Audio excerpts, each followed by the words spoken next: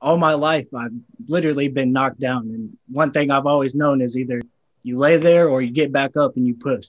A 2020 graduate of Lafayette, Taylor Bledsoe, known in sports circles around town for football, but it's baseball now providing him post high school opportunities. Someone that cared about me, cared about more than just me as a baseball player, like cared about me graduating college, cared about me moving on to the next level. Bledsoe played just one year of high school baseball, though, and yet he found a path to college baseball at Oakton Community College in large part because of his potential, but also because of his high school head coach, Matt Jansen, who played at the community college and Missouri Western. I kept hearing the name like, hey, like, you know, he hasn't, you know, he hasn't been eligible, but, you know, the last year or so, but like Taylor Bledsoe, man, super talented, great kid.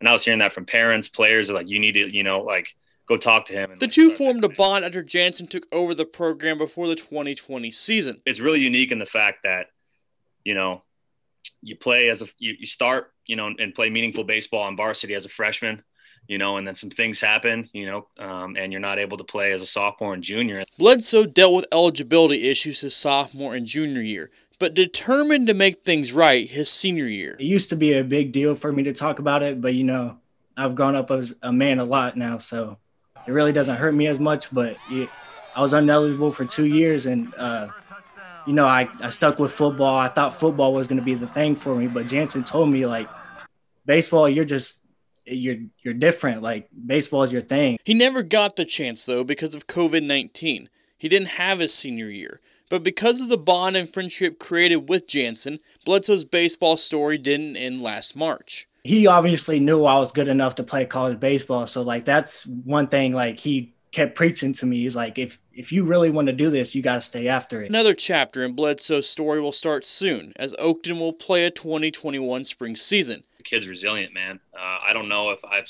come across a kid with quite the obstacles that he's had to overcome.